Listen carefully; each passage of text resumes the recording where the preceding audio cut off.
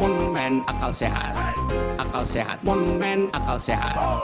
Rocky Gerung yang selama ini dikenal vokal mengkritik pemerintahan Presiden Jokowi, kali ini justru memuji kejeniusan sang presiden. Menurut Rocky, dilantiknya Ketua Umum PAN Zulkifli Hasan sebagai Menteri Perdagangan menggantikan Muhammad Lutfi dinilai mematahkan potensi PAN untuk mendukung Anies Baswedan dalam perhelatan Pilpres 2024. Rocky juga menyoroti Menteri Agraria Tata Ruang yang dicopot Sofyan Jalil dan digantikan Hadi Cahyanto. Menurutnya hal ini terjadi karena Sofyan dekat dengan Yusuf Kala.